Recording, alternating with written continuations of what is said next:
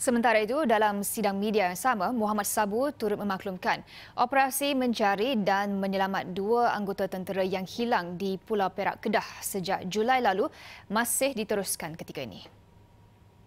Pihak darat terus berusaha mencarinya dan operasi di laut dan sebagainya kalau ada tanda-tanda baru kita akan uh, terus mencarinya. Setakat ini uh, tanda-tanda baru itu tidak lagi muncul. Jadi usaha terus kita usahakan terutama di peringkat daratan.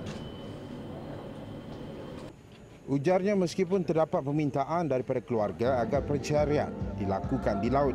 Sebaliknya jelas Muhammad ia bergantung kepada petunjuk yang didapati oleh pasukan SAR.